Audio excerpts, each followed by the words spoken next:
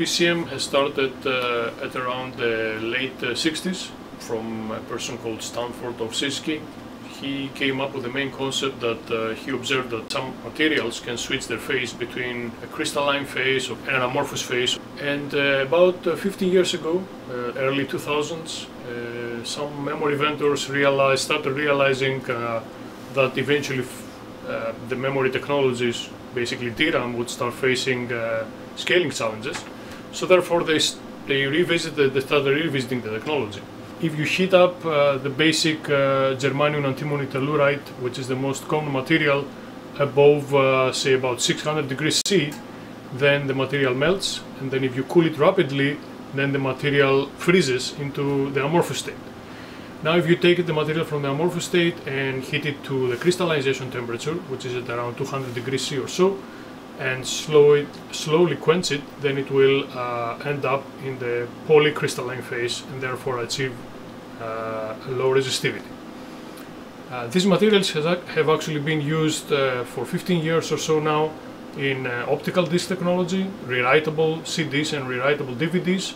Phase change memory is thought to be the first instantiation of what we call universal memory because it possesses uh, characteristics both of uh, memory, like DRAM, so it's fast, it's uh, very durable, it can be written uh, millions of times. On the other hand, it is also very scalable and we can achieve uh, storage of multiple bits per cell. Uh, therefore, it has characteristics also of flash.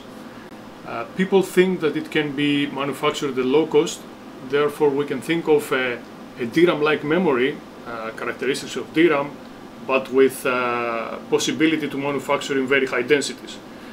Therefore, uh, the usage uh, cases of PCM are kind of obvious. One could use it to store entire databases in memory and fulfill the year-long promise of what we call actually in-memory processing.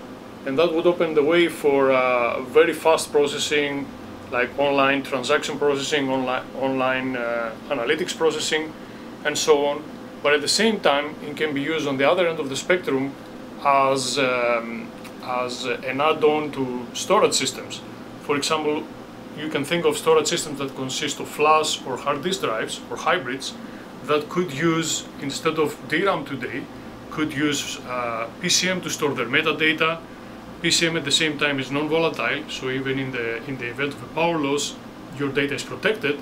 And at the same time, your uh, hot uh, writes, your hot data can be absorbed in PCM. So what we did is we took uh, an array of 64,000 cells, which was manufactured at IBM in a prototype uh, memory chip, and we first subjected it to 1 million endurance cycles. So we first uh, changed the phase between set and reset amorphous crystalline 1 million times to demonstrate also the endurance of the technology. And after that, uh, we took those cells and we stored uh, data by uh, storing actually eight levels of data, so three bits per cell. We then uh, repeatedly read the information while at the same time we applied a temperature profile which changed between room temperature, about 30 degrees C, and up to 80 degrees C. We even left the device uh, to, to, to 80 degrees C for more than a day. Uh, and then we basically read the data. So we were able to achieve very high reliability, uh, raw bit error rates uh, at around 1 times 10 to the minus 4 error rates, which are highly acceptable for uh, low redundancy error correction codes. And this was made possible by the combination of two main technologies. One, one technology was um, uh, a new metric, a new way to read the information from phase change memory cells that by its nature is not uh, so uh, susceptible to resistance drift. So it kind of achieves some certain robustness with respect to drift. The other uh, property, uh, the other uh, advance, advancement is that we came up with a new set of uh, coding and signal processing technologies uh, by which we basically adapt the way we read the information from the memory cells so that we are able to follow the variations of the levels as they undergo temperature changes, drift, noise, any other uh, phenomenon that would actually change the information.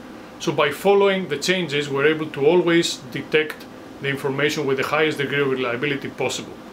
So by combining these two technologies judiciously, we were able to, as I said, demonstrate uh, that after cycling those cells for 1 million times, we could store information at 3 bits per cell and retrieve it over, over 10 days after uh, programming uh, in the presence of temperature variations up to 80 degrees C. And this actually marks the first time uh, that someone is able to store uh, TLC, so 3 bits per cell, in phase change memory arrays, not a single cell, and also address basically all the major reliability challenges of this technology.